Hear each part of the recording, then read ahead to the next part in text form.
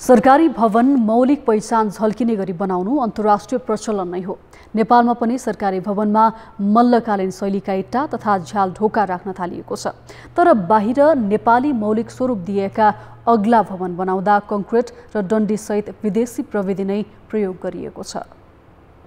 परबाट झट्ट हेर्दा यो भवन मल्लकालीन शैलीको जस्तै देखिन्छ। काठमाडौँ उपत्यका विकास प्राधिकरणको यो भवनको भित्र पस्ने हो भने भुइँमा मार्बल छ। निर्माण सामग्रीमा सिमेन्ट र डन्डी नै प्रयोग गरिएको छ। लिफ्ट जडान गरिएको छ। सँगै महालेखा नियन्त्रकको कार्यालयको भवन पनि पुरानो मल्लकालीन स्वरूप दिएर बनाउँदै गरिए पनि सिमेन्ट र डन्डी उल्लेख्य मात्रामा प्रयोग गरिँदैछ। सुविधायुक्त सरकारी भवन निर्माणमा विदेशी प्रविधि प्रयोग गरिए पनि नेपाली मौलिक पहिचानको छलको भने दिन थालिएको छ। तिस चालिस वर्षदेखि केही एफर्ट चाहिँ नि भएका हुन्।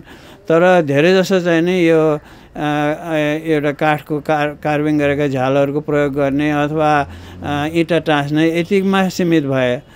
तर हामीले विदेशीहरूले गरे त्यो इँटाको जुन छ इँटाको मर्म अथवा त्यस त्यस त्यसले गर्दाखेरि भनौँ न हाम्रो परम्परागत वास्तुकलामा त्यसले जुन आइडेन्टिटी दिइरहेको छ त्यो अझै पनि दिन सक्ला। तर जसरी यो प्रयोग भइरहेको छ यो त अहिले त एउटा क्ल्याडिङको हिसाबमा भनौँ एउटा कर्टेन वालको हिसाबमा मात्रै इँटाको प्रयोग भइरहेको छ। त्यसले त दिन सक्दैन।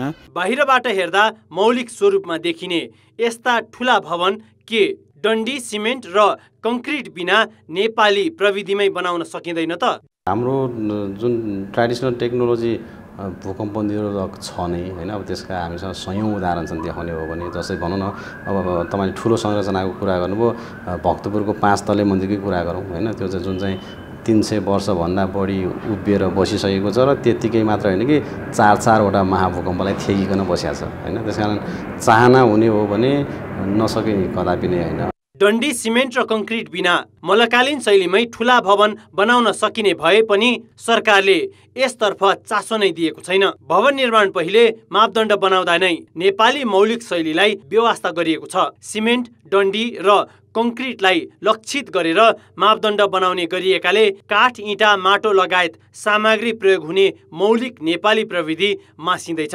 सरकारमा बसेकोहरूले पनि यो एउटा कन्सेप्चुअल हिसाबमा चाहिँ नि उनीहरूको निर्देशनमा राखिनुपर्छ नीति राखिनुपर्छ नीतिगत हिसाबमा भनियो भने आर्किटेक्टहरूलाई गर्नै पर्ने हुन्छ र काम गर्नुपर्ने हुन्छ सोच्नुपर्ने हुन्छ। गर्न नसकिने कुरा त होइन संसारभरिकाले गरिरहेका छन् भने हामीले किन गर्न सक्दैन। बाहिरी स्वरूपमा मात्र मौलिकता झल्काएर मौलिक प्रविधिको संरक्षण हुन सक्दैन। मौलिक एवं प्राचीन प्रविधि राष्ट्रको पहिचान समेत भएकाले यस्ता प्रविधिको संरक्षणका लागि सरकारले भवन निर्माण सम्बन्धी नीति र मापदण्डमै सुधार गर्नुपर्छ। कान्तिपुर समाचारका लागि क्यामेरामा राजेन्द्र महर्जन र हरिशरण तिमल सिन्हाका साथ सुबिन्द्र श्रेष्ठ काठमाडौँ।